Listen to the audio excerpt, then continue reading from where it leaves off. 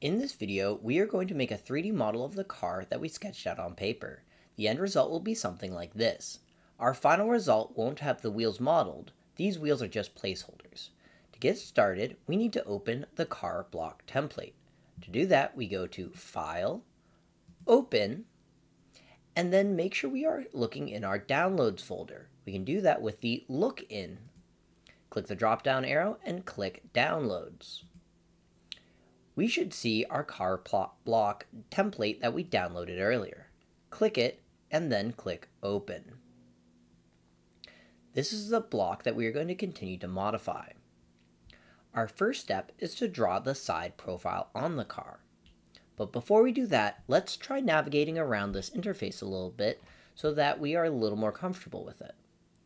The first thing I'd like to point out is this navigation cube in the top right corner we can click on the navigation cube, and if we click and hold, we can drag it and look around our model.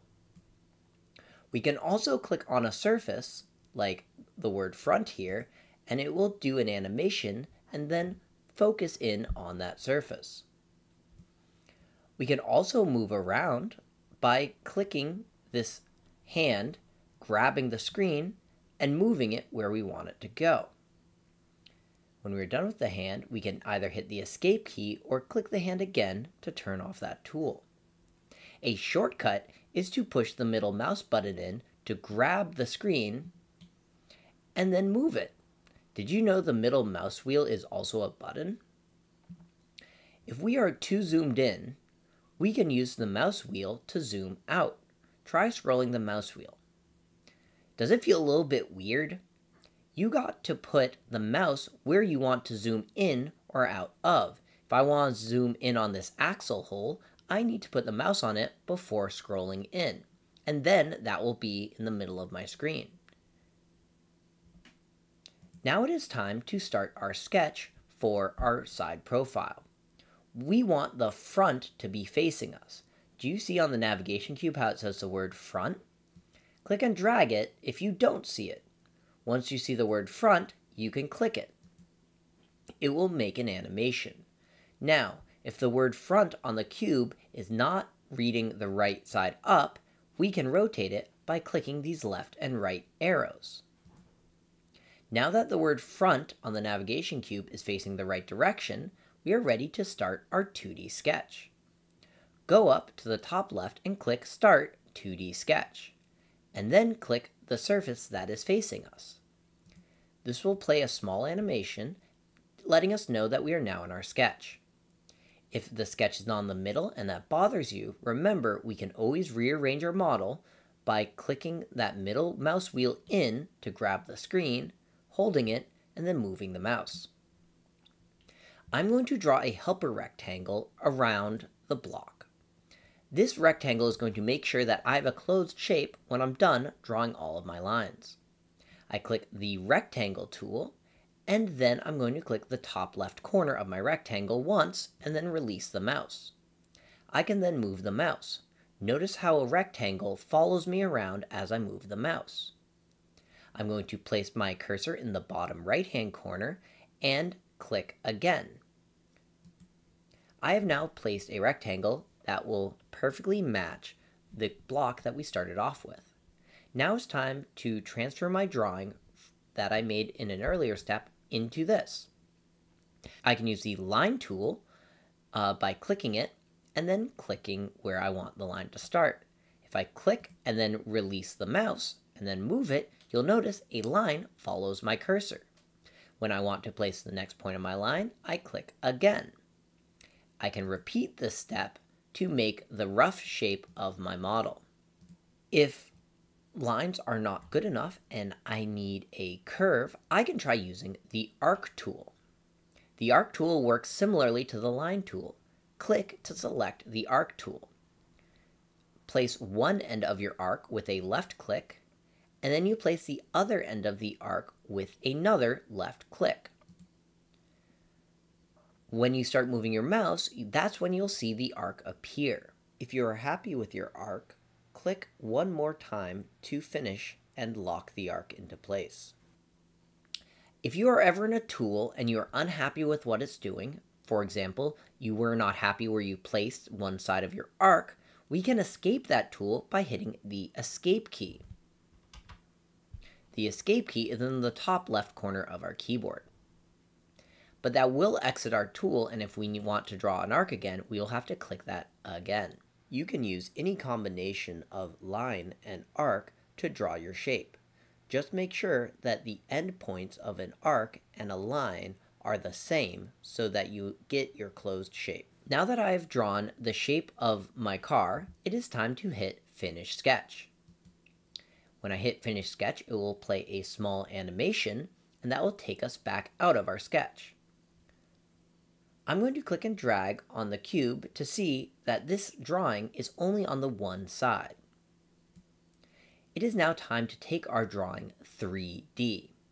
To do that, I click the Extrude button. When I click Extrude, it doesn't know what I want. It cannot read my mind. I need to select everything that I want to make 3D. In this case, you need to click the parts of the car that you want to keep. So if this is the shape that I want to keep, it's what I click. Now, it's a bit tough to tell what is happening, so I'm going to click the navigation cube and view this from a slightly different angle. Here you can see the shape that I selected is being extruded out. I can add to that by clicking additional closed shapes. That looks pretty good, but this isn't what I wanted. What I actually want is this to remove everything that I didn't draw. And to do that, I can use this boolean command. Boolean means to combine, and we want to use the intersect. I clicked the intersect, and you can see it got rid of all of the block except for just this little bit. But there's an issue. I need this extrusion to go all the way through. I'm going to click and drag on the end of the arrow, and you can see that the extrusion distance will follow my cursor. It's okay to extend beyond the block, it just won't exist afterwards. I'm going to hit OK, and that will finish my extrusion. Next up, it's time to draw our top or bottom profile. To do that, I need to see the bottom of our model. I am going to click on the navigation cube and use that to look at the bottom. I don't need a perfectly straight on view, I just need to be able to see it. Then I'm going to click Start 2D Sketch and then click the bottom. It will play an animation and that will give me the perfect view. Remember, if your model is not exactly where you want it, you can reposition it by pushing and holding the middle mouse button. And if you are zoomed out too far or zoomed in too far, you can always scroll the mouse wheel to adjust it. Just make sure your mouse is on the important part of your drawing so you're not zooming in on an empty corner. Now it's time to draw two more helper rectangles. We are going to select the rectangle tool and click the top left corner of our block and then the bottom right corner of our block. This first helper rectangle is going to make sure that we have a closed shape at the end of this. The next helper rectangle I'm going to make needs to be half that size. And that's very easy to do in Inventor. I am again going to click the top left corner, and then I'm going to put my mouse over onto the far right side and move it up and down. Notice how the rectangle snaps to the right side. And then notice how it goes from having a yellow cursor to having a green one when it snaps again, this time to the middle. Once I have that green cursor and it's in the middle, I can click and we can be certain that our second helper rectangle is perfectly half the size of our first one. With those two helper rectangles made, it is now time to draw our shapes. We're going to be transferring the shapes that we drew originally. I'm going to use the line tool to make some cool shapes. Excellent. Now that I have made a brand new closed shape with the help of my two helper rectangles, I can hit Finish Sketch. Now that I have a new closed shape, thanks to the, those two helper rectangles, it is time to use the Mirror tool. The Mirror tool will make it so that we don't have to repeat our design on each side. To use the mirror tool, I come up and I select the mirror tool. This will open a new window. Notice how there is a blue glowing clicker next to the word select. That means it is ready for us to select the lines we would want to mirror. I'm going to select all the lines. Notice how it goes from purple to blue when I click on it. That means that line is now selected. Select all the lines you wish to mirror to the other side. Now we need to select our mirror line. Click Mirror Line. Select the line that cuts your model in half. It will also turn blue once it's selected.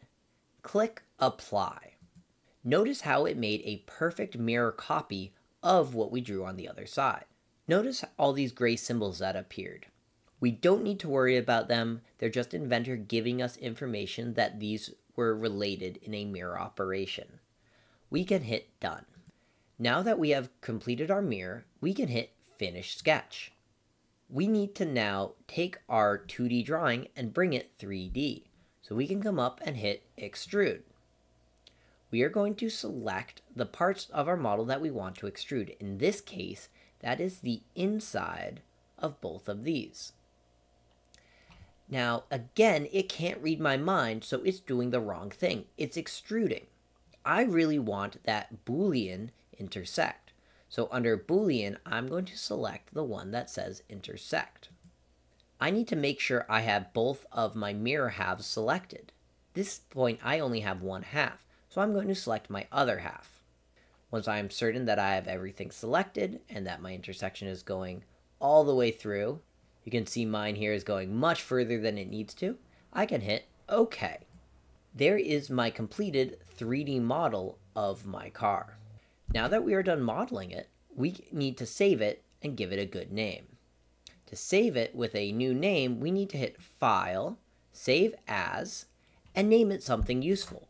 For example, we could call it Your Name's Car. And hit Save. You are now ready for the next step in which we will make a blueprint which will be very useful in making the car in real life.